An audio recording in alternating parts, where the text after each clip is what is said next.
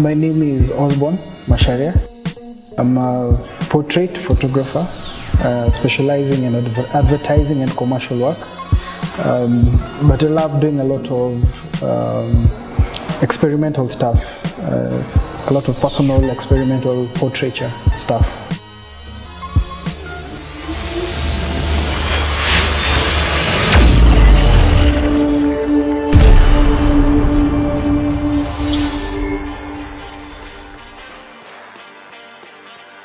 I studied architecture. Um, then in my fourth year, which is a six-year course, architecture in Kenya is six years, but uh, my fourth year I failed a unit. And policy is when you fail that unit, you have to re redo do a supplementary for that unit. Then I failed the supplementary, so so policy is you have to stay away for that one academic year and just do that one, one unit. So I had a lot of time uh, in my hands and I've always been attracted to visual art and billboards and you know just the whole um, art scene. So uh, along the way, uh, I met, I saw uh, a photographer. He's he's Canadian. He's called Joey Lawrence. I saw his work. I was impressed. I hadn't seen photography done in that kind of way, and it's something I was relating to because he had done a series in Ethiopia. And from then on, I just started uh, doing architectural models during that free time that I had. So I was doing architectural models and pumping the money into photography. So I bought my first camera, bought my first lens through that, bought my first set of, of lighting equipment through that. And then it began to grow. So by the time I was done with campus, I already knew what I wanted to do, which was full-time photography. I took eight years to finish because uh, I repeated twice. Um, so at some point I wanted to give up, but uh, the reason I actually completed was because of my folks. They told me you get get for us the paper, then we'll let you do whatever you want to do. So that's why I just had to uh, stick in and finish. Some of the things I learned in architecture, especially the whole endurance part, because we'd we'd have long nights. You know, it's always if it was working, it would be extensive working. So those are the same principles that apply into this photography world, because it's still the same long working hours, uh, crazy deadlines, you know, so nothing much has changed, yeah. But it's the same principles that I learned then that I'm applying now. I have quite a lot of photographers that I look up to and it keeps changing as I keep discovering more about uh, myself and my style. Uh, but definitely Joey Lawrence was one of the people that I look I look up to till now, and I looked up to then uh, when it came to photography, because uh, he basically opened my eyes into a different side of photography I'd never seen before. And with time, I began to get new people, guys who focused on advertising, uh, discover guys who focused on product photography.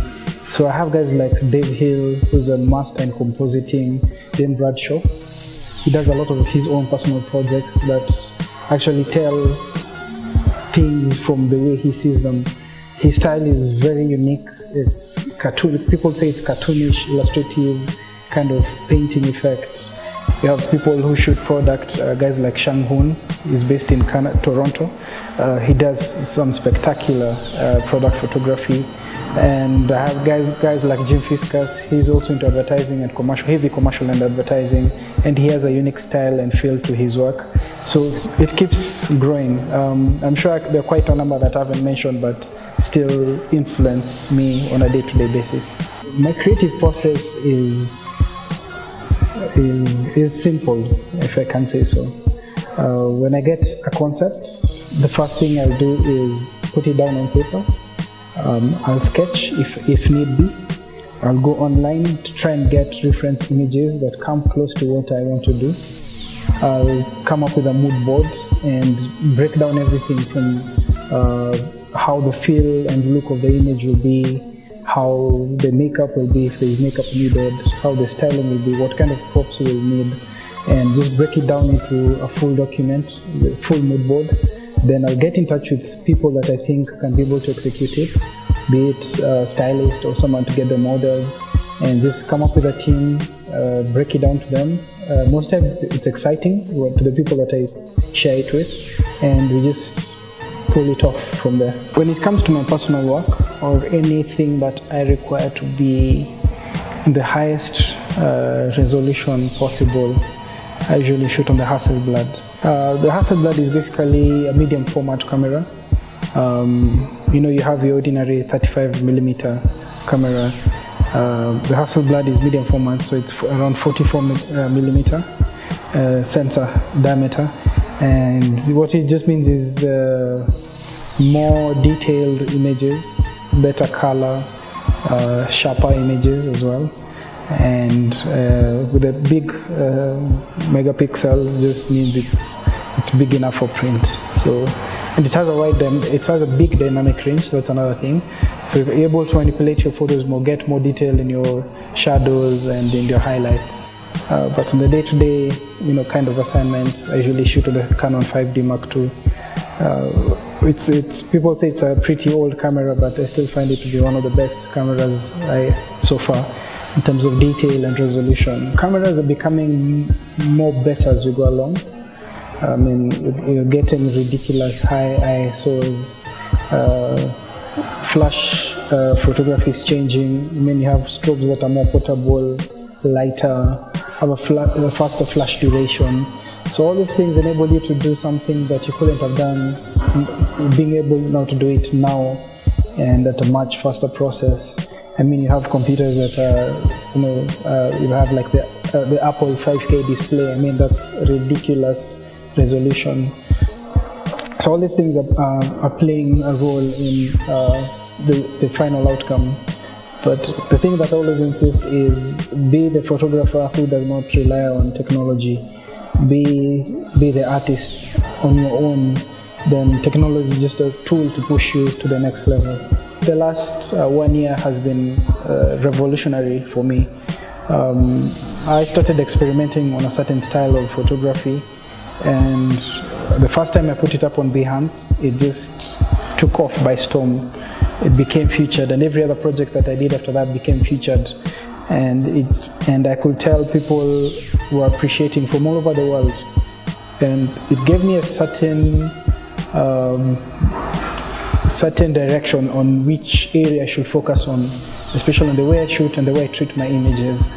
So I've been getting, you know, you get messages on your inbox, either on Behance or on Facebook, people telling you that you're doing such a good job, that you're putting Africa on the map, that you're doing, they love your style. So that has really pushed me into focusing on this particular uh, style that I'm doing. I remember at that point, um, Hasselblad, the manufacturer, the camera manufacturer, was was put up a post on Facebook that if people are shooting, uh, have images shot using this particular type of camera, and series of cameras, and mine fell into that series.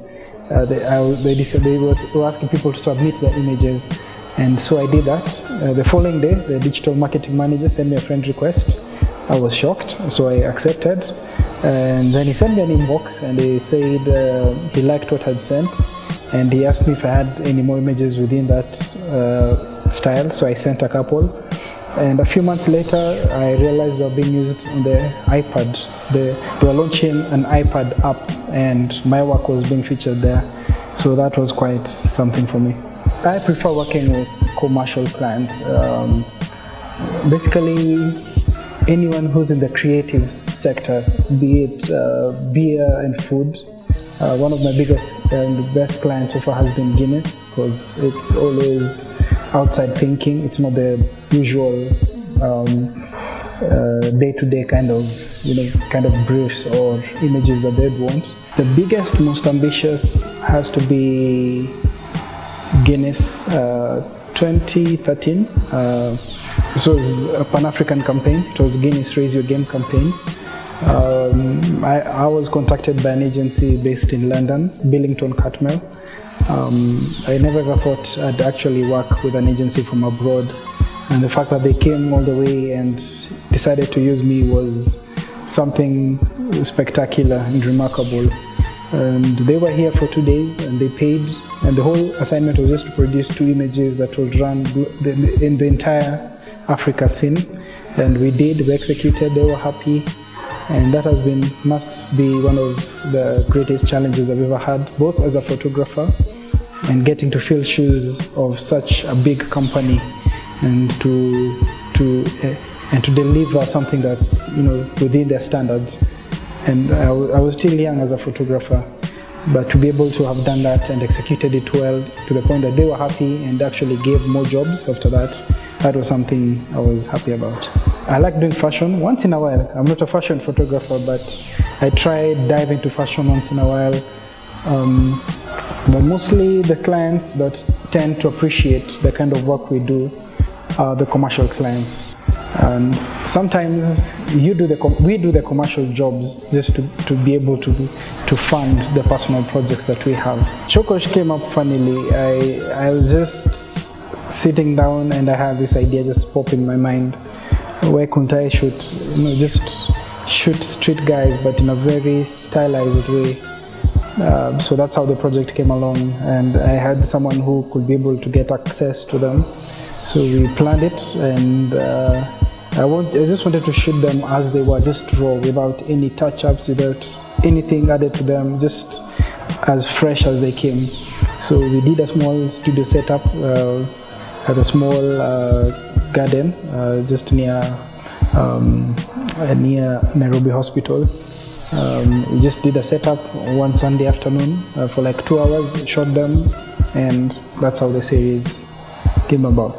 The most challenging aspect is being uh, in this region where you can't just walk into a shop and buy an equipment, or if it's in the shop, it's triple or double the price.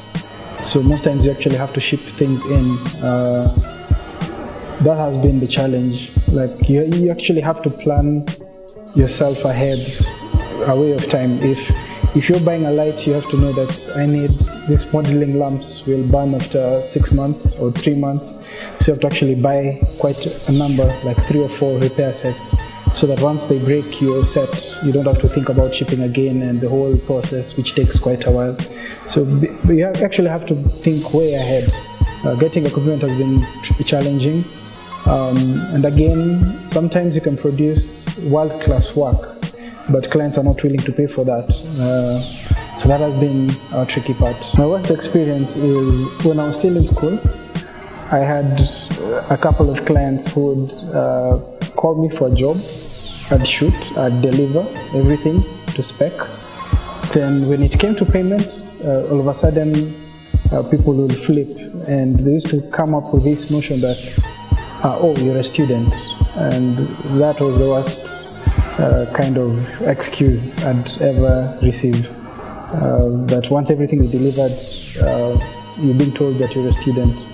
So at times I'd wonder, so does it mean when I'm buying the equipment, I'm given a student discount?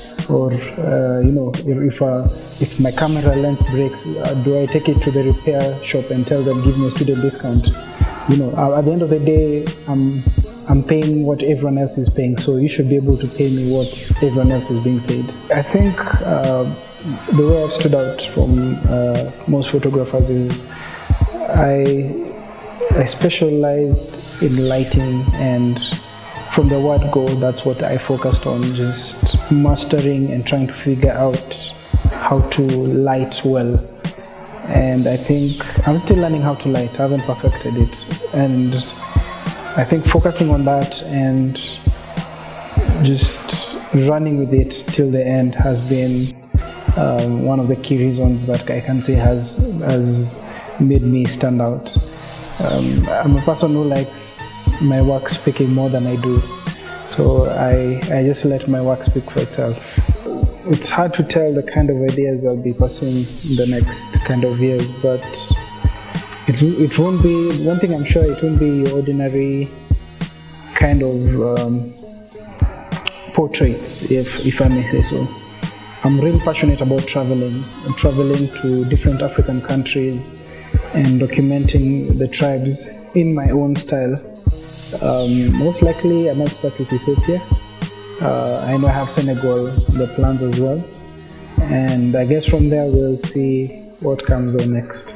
I'd say the best three pieces of advice is one, um, know your style. Uh, craft your own style. I think that's how you're able to separate yourself from the crowd, uh, where everyone is doing the same thing, but you can be able to specialize and do something that you know sets you apart. Um, another thing is, especially for those who are into want to venture into advertising and commercial, is just to know your lights and know your post production as well. Um, we are not privileged to be in, in, a society where you can actually hire retouchers to do your work. You actually have to do everything on your own. And I think when you, that has had its advantages as well because you're able to craft your own style. If you're the photographer and the retoucher as well at the same time, it makes it much, uh, it's much more convenient for you. Uh, you get to actually create your own style um, in the event that you have a personal retoucher and the retoucher is not there, it means that your photography goes down, uh, which shouldn't be the case. So, uh, if you can be able to master the tool, it puts you at a much better place in this competitive industry.